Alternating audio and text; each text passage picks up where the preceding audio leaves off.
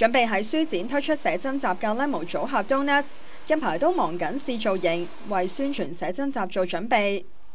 對於貿發局拒絕佢哋喺書展搞簽名會，成員之一嘅 Rainbow 覺得被歧視。我哋都冇，都唔係去嗰種嘅類型，咁始終都唔係好似殃及池魚咁樣咯。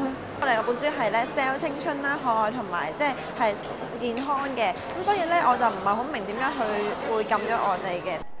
佢哋嘅經理人話：貿發局拒絕佢哋搞簽名會，理由係唔符合書展形象。佢哋完全冇問究竟你搞嗰個簽名會裏邊嘅活動嘅形式係點咧？咁淨係諮詢咗個時間啫，即係譬如星期幾幾多點鐘咁樣咯，就冇任何細節啦。所以我就唔明佢用啲咩方法得知到個活動一定係唔健康。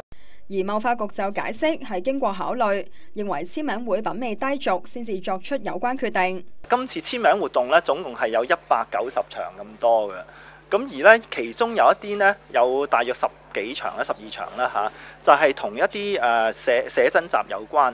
咁而我哋睇佢事先嘅宣傳呢，係意識係好唔好，意識不良。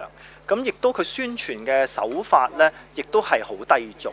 咁所以經過誒顧問團嘅一致嘅意見呢，我哋係拒絕咗佢參加嗰個簽名活動嘅。佢又話：申請人如果唔同意，可以喺三十號之前提出上訴。今年書展呢，下個月二十一至到二十七號喺會展舉行。貿發局除咗啦審查宣傳活動之外，亦都第一次要求參展商簽訂守則，承諾搞嘅活動呢係符合書展嘅形象，否則呢可以終止佢嘅展覽。香港寬頻電視記者李盈盈報道。